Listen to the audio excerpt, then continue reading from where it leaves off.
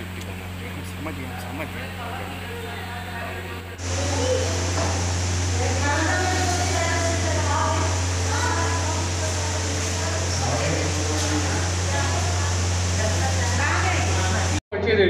सुजीत कुमार फुलवरिया घुसियान। क्या हुआ है सुजीत जी घटना?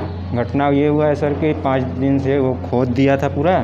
और खोदने के बाद काम नहीं लगाए सब। अब दो दिन से बारिश हुआ और मट्टी ढल गई। उसके मकान गिर गया और उसी में हम लोग सोए थे।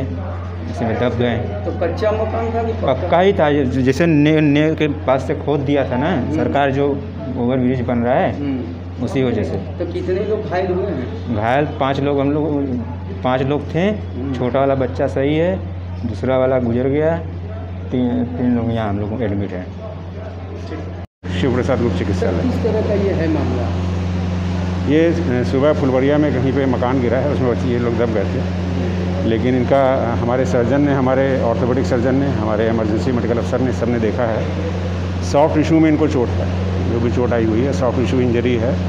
मैंने खुद भी एक बार अभी देख लिया मैं ऑर्थोपेडिक सर्जन हूँ तो मैंने एक बार खुद भी देख लिया है सारी हड्डियों के हिसाब से रीढ़ को कंधे को हाथ को पैर को। ऐसा फ्रैक्चर जैसा कहीं कुछ नहीं लग रहा है। सॉफ्ट टिश्यू इंजरी है दवा चल रही है मेरे ख्याल से ठीक हो जाएँगे तो उनको डिस्चार्ज करेंगे। सर क्या स्थिति है? अभी ठीक है ये। हाँ। कितने लोग घायल हैं? तीन लोग हैं हमारे अस्पताल में।